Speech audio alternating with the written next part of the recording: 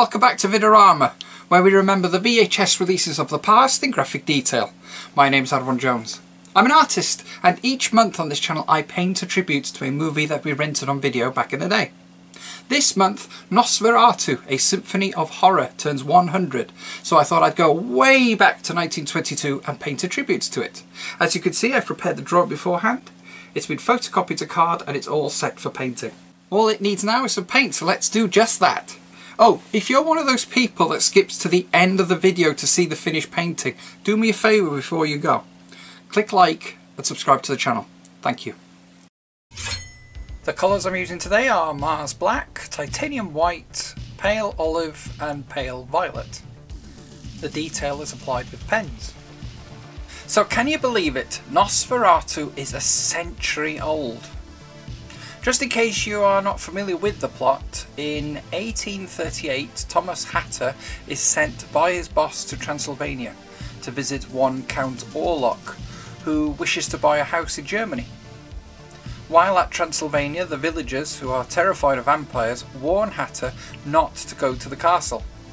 He laughs it off and goes on regardless. He is welcomed by the Count, who both looks and acts strange. Having tried to suck the blood from Hutter's thumb, complimented his wife's neck, he wakes up the following morning and discovers puncture wounds on his neck, and so Hutter suspects that the villagers might have actually been right about Orlok being a vampire. While Hutter tries to make sense of it all, Orlok wastes no time and puts his plan into action.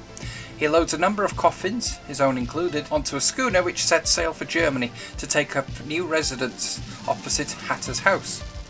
The schooner arrives at the port, the crew dead. A number of rats escape the schooner and soon after the town is struck by a mysterious plague. Hutter makes his way back home to his wife, who senses the impending presence of the vampire next door.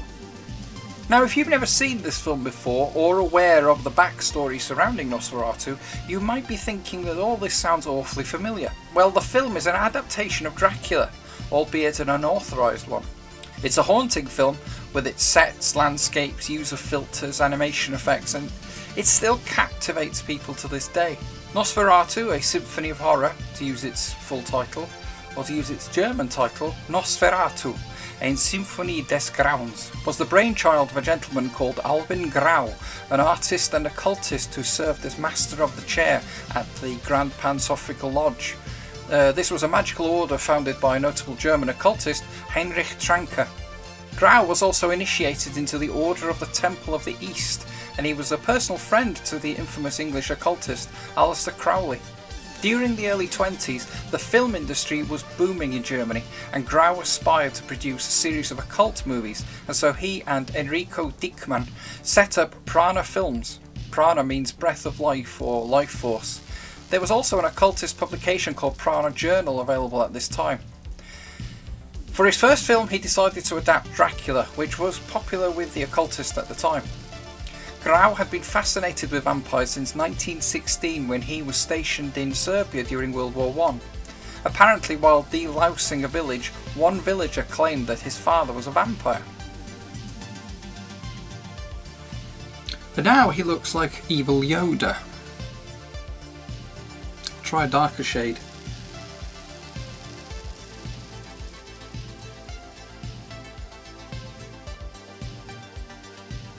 Grau approached screenwriter Heinrich Galeen to write the screenplay. Galeen, also an occultist, was a member of the Order of the Rosicrucian and uh, considered an influential figure in German expressionist cinema, having worked with Max Reinhardt and co-written, directed and starred in Der Golem, The Golem in 1915. He adapted Dracula for Grau, changing all the character names. Dracula was now called Count Orlok, and he had most of the story take place in Germany instead of England. Many have long believed that Prana did this because they had not legally acquired the rights to the novel, but it seems there is no actual evidence to back this claim. It's actually believed that this was simply done to appeal to its German audience. Now with the concept and screenplay, Grau approached Friedrich Wilhelm Murnau, who had also worked with Max Reinhardt and was making a name for himself in German cinema, with such films as The Boy in Blue, inspired by the Gainsborough painting, The Hunchback and the Dancer, The Haunted Castle, and The Head of Janus, which was an adaptation of Robert Louis Stevenson's The Strange Case of Dr. Jekyll and Mr. Hyde, uh, which starred Conrad Veidt and incidentally Bela Lugosi in a small role. Murnau had studied art history, and this is apparent in this film, as many scenes are clearly influenced by such works as Henry Fuseli's painting The Nightmare and uh, Rembrandt's The Anatomy Lesson of Dr. Nicholas Tulp. Grau also served as an art director and played an integral part in the look of this film. He claimed that the work of German illustrator Hugo Steiner-Prag was a major influence on Nosferatu's concept art, storyboards, and the look of Count Orlok. Grau was also responsible for the symbol seen on the contract between Count Orlok and Knock, which was inspired by the Order of the Temple of the East and encrypted letters of the Slovakian feudal lords.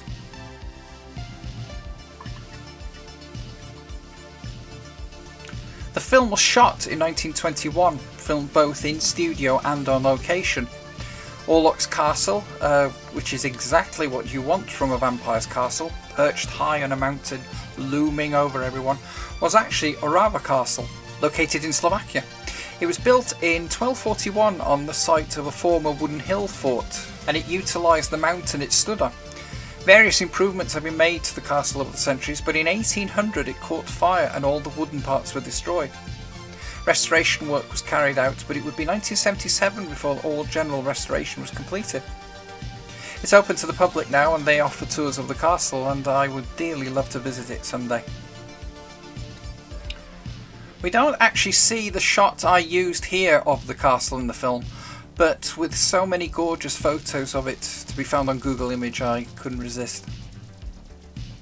Although Orava Castle was the main castle with most shots filmed there, a second castle was also used, the closing shots of the castle ruins was actually Kashtis Castle in Slovakia, home to the infamous Countess Elizabeth Bathory, the noblewoman who reportedly bathed in virgin's blood to maintain her youth.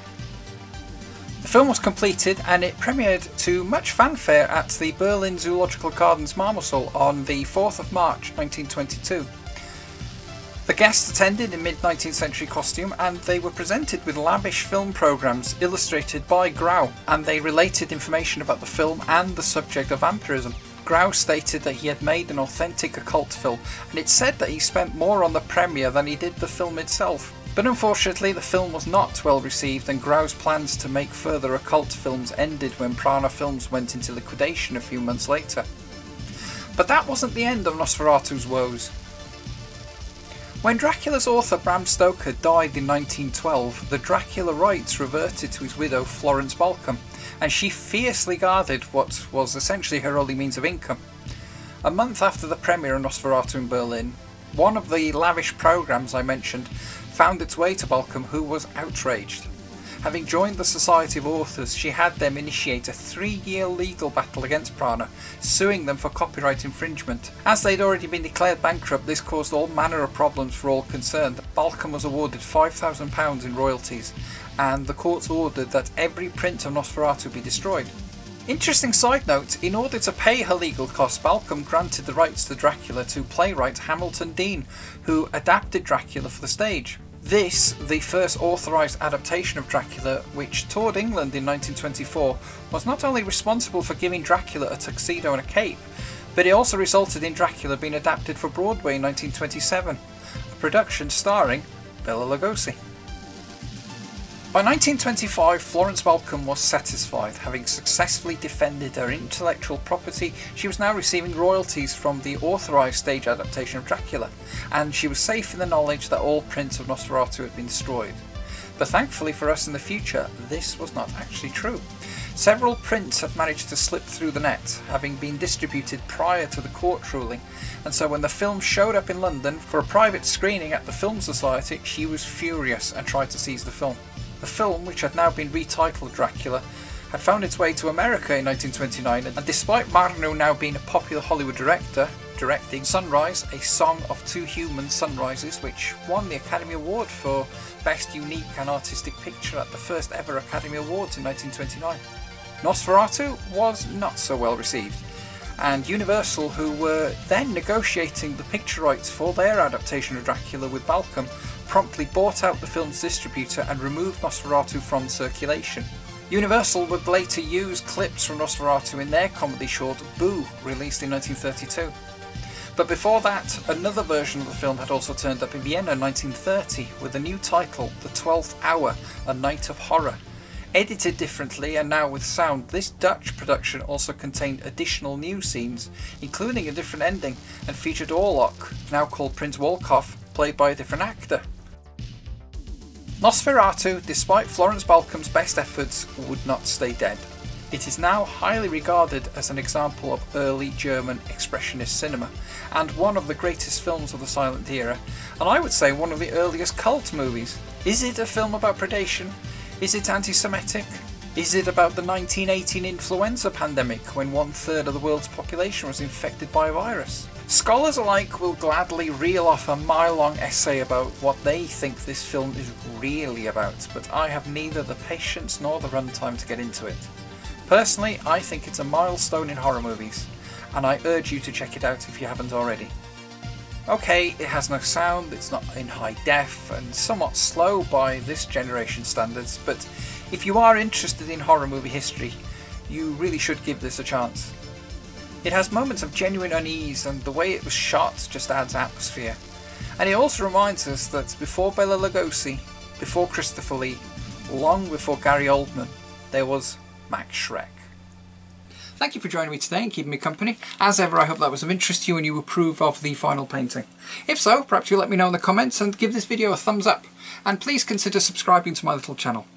It's a little different from what I usually paint on this channel, but I couldn't ignore the 100th anniversary of Nosferatu. Would you like to see more silent horror movies in future videos? If so, let me know in the comments and let me know which ones you'd like to see. So once more, dear viewer, I have painted a movie from the past. And once more I say to you, Good night out there, whatever you are.